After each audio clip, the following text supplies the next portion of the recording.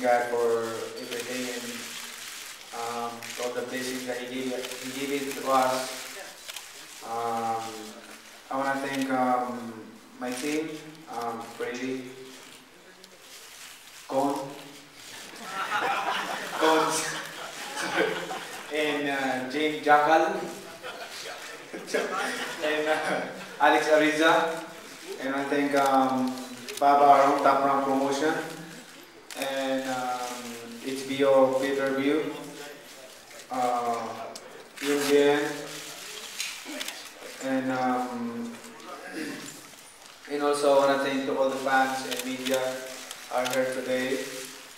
Um, of course, um, I want to thank um, to my to all my friends are here today also.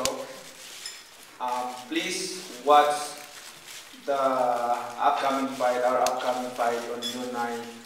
It's going to be a, good fight because um, Timothy Bradley is a he's strong, strong fighter and um, he loves to fight uh, toe to toe and um, he's undefeated. And I think um, it's going to be um, a lot of action in the ring. So what we're going to do is um, we're going to uh, train hard. Uh, we do our. Uh, going to do a um, uh, 10 weeks, at least uh, 10 weeks uh, training for this fight. And I hope that um, same thing with uh, Timothy Bradley. He will train hard for this fight so we can give um, a good fight and uh, we can entertain people, especially all the people who are going to watch the fight on, on June 9.